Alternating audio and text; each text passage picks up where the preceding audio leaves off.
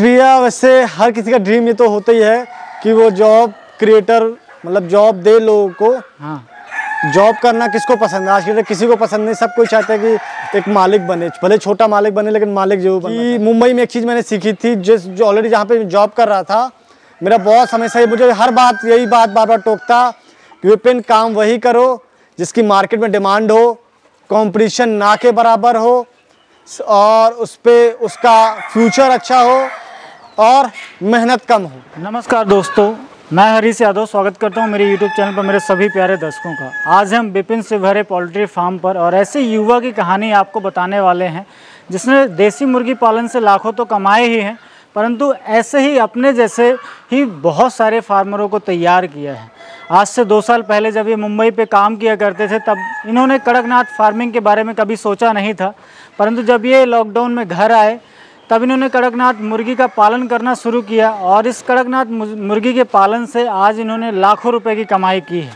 तो कैसे इनकी जर्नी स्टार्ट हुई, किस तरीके से ये काम कर रहे हैं और अपने आने वाले टाइम पर ये कैसे अपने जैसे फार्मरों को तैयार करने वाले हैं या कर रहे हैं, हम इसके ऊपर पूरी जानकारी लेने वाले हैं। तो चलिए चलते हैं और मिलते हैं सफल किसान से और इनकी कहानी को सारे दर्शकों तक लेकर। तो नमस्कार विपिन भाई स्वागत है हमारी यूट्यूब चैनल पर आपका जो भी दर्शक आपको देख रहे हैं थोड़ा सा आ, अपने बारे में बताइए और सबसे पहली बात कि एक वार्म वेलकम है हमारे चैनल पर आपका। जी धन्यवाद हरीश भैया और सबसे पहले नमस्कार आपको और आपके सब्सक्राइबर्स को। मैं सबसे पहले बता दूँ मैं मेरा नाम विपिन शिवहरे है। मैं वैसे जुकेही गाँव का निवासी हूँ बट जो और जो मेरा फार्म है वो टिकरवाड़ा पे स्थित है। काफ़ी कटनी से काफ़ी नज़दीक होने की वजह से मेरा जो भी काम होता है सारी डिलीवरीज मैं कटनी से करता हूँ। तो विपिन भाई आ, कभी आपने जब मुंबई पे जॉब करते थे किसी के अंडर काम करते थे तो कभी आपके मन में ये सवाल आया था कि मैं भी कभी आ, अपने आसपास के क्षेत्र पर चार लोगों को जॉब देने के लिए खुद का एक फार्म ऐसा मेरा होगा जिसमें मेरे फार्म पर बारह हज़ार या पंद्रह हज़ार बर्ड होंगे और उनमें चार से पाँच लोग मेरे अंडर काम करें? कभी आपने सोचा था? ये थोड़ा सा बताइए। हरीश भैया वैसे हर किसी का ड्रीम ये तो होता ही है कि वो जॉब क्रिएटर मतलब जॉब दे लोगों को।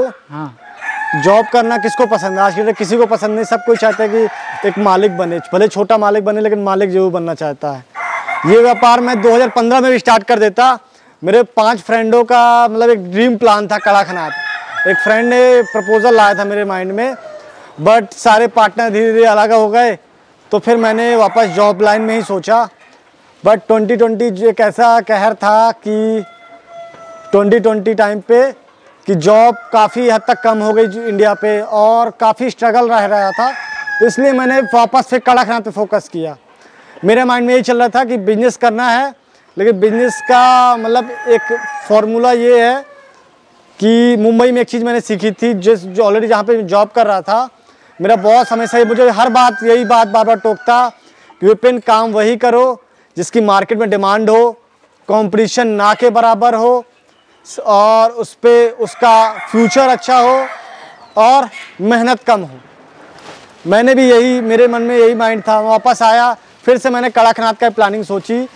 दो तीन महीना सोचने के बाद मैंने कड़ाकनाथ पे मतलब उतरने का सोचा। बट शुरुआत में माइंड में कसमकस थी कि ये बिज़नेस सक्सेस होगा कि नहीं, करूँ कि नहीं करूँ। भाई, सफल हो, हर कोई तो कर नहीं पाता। यही माइंड में चला था, कहाँ सेल करूँगा? फिर माइंड में आया कि यार, किया जाए, छोटे से स्केल से किया जाए धीरे धीरे नॉलेज मिलेगी तो आगे बढ़ाते जाएँगे व्यापार को। तो मैंने 220 बर्ड से स्टार्टअप किया था। उस टाइम ही मुझे ये था कि मुझे बिल्कुल नॉलेज नहीं था कि एक तो क्या मुंबई की लाइफ और यहाँ की लाइफ स्टाइल फ़र्क तो है। तो मैंने 220 बर्ड से शुरू किया था, लेकिन वो मेरे को महँगे मिले थे। मुझे समझिए, जो बर्ड है, वो नौ सौ पीस पड़े थे।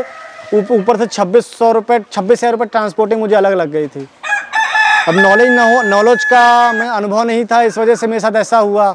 और मुझे गाइडेंस करने वाला कोई नहीं था। तो मैं लेके आया एक छोटे से कमरे, बीस बाई बीस के कमरे से स्टार्टअप किया था।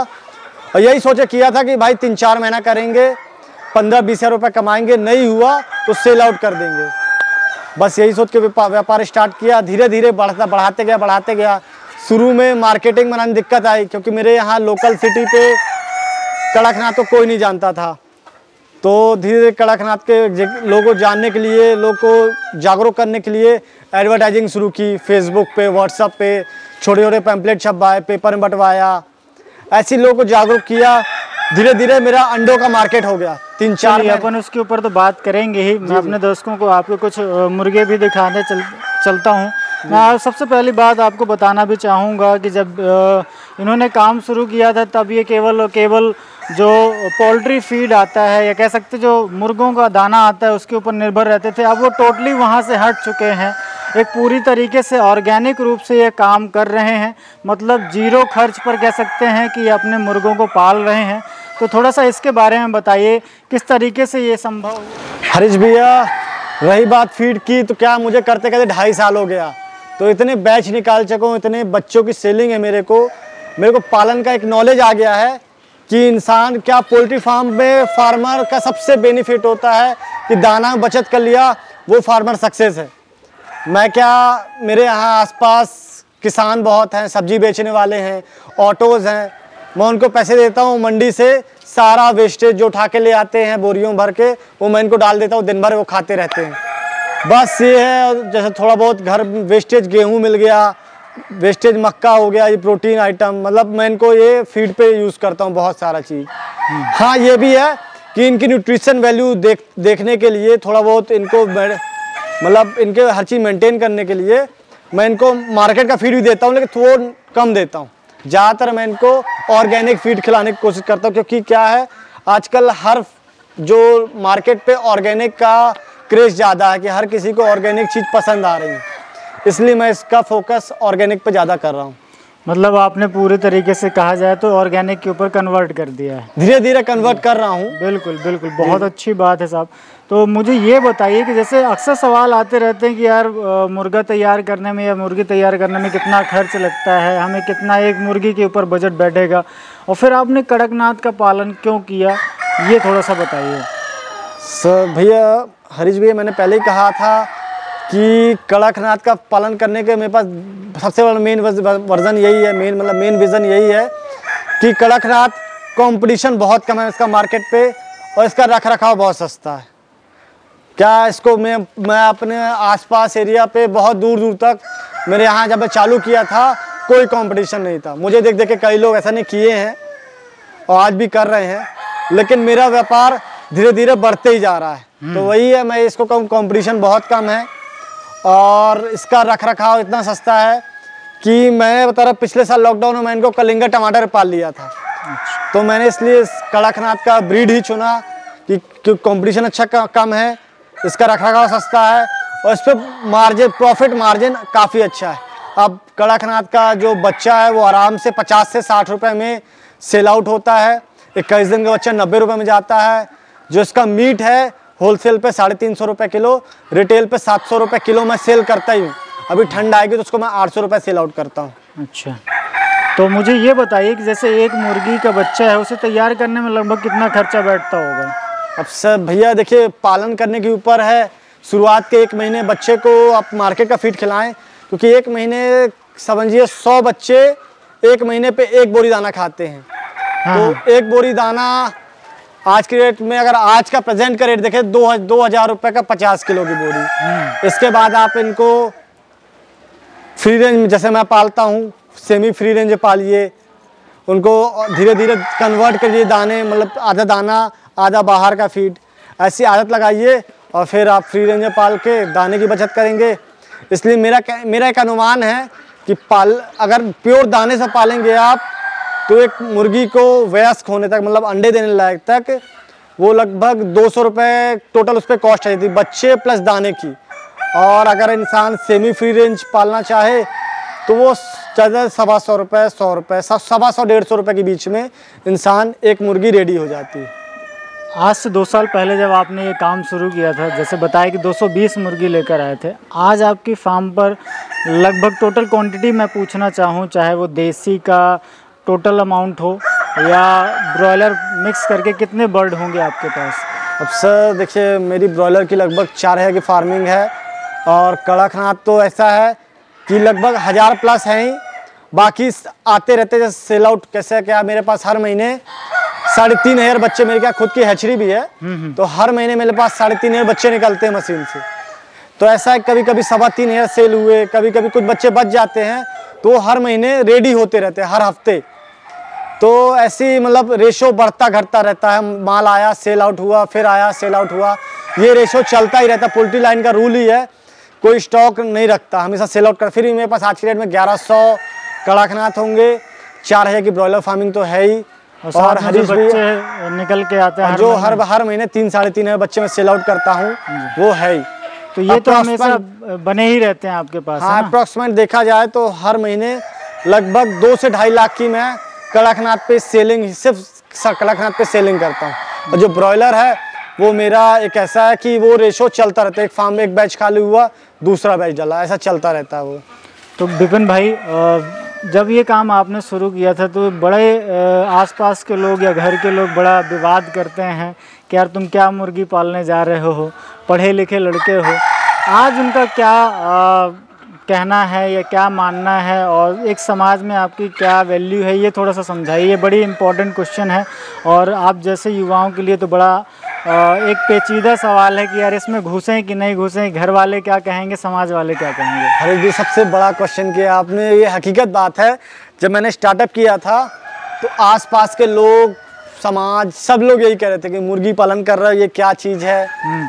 है ना? तो फिर भी मैंने बिना सोचे किया बिना मतलब बिना किसी का सब कुछ भूल कर मैंने स्टार्टअप किया। शुरुआत में तीन चार महीने मुझे दिक्कतें भी आई तो लोगों के ताने आने लगे कि बंद कर दो, क्या रखा है स्ट्रगल कर रहे क्योंकि मैं अच्छी खासी बॉडी थी, क्या जब कमाई नहीं आती तो बॉडी डाउन होने लगी माइंड टेंशन होने लगा, हर चीज़ होने लगा। मैं पार्ट लोगों पर टाइम देना बंद कर दिया।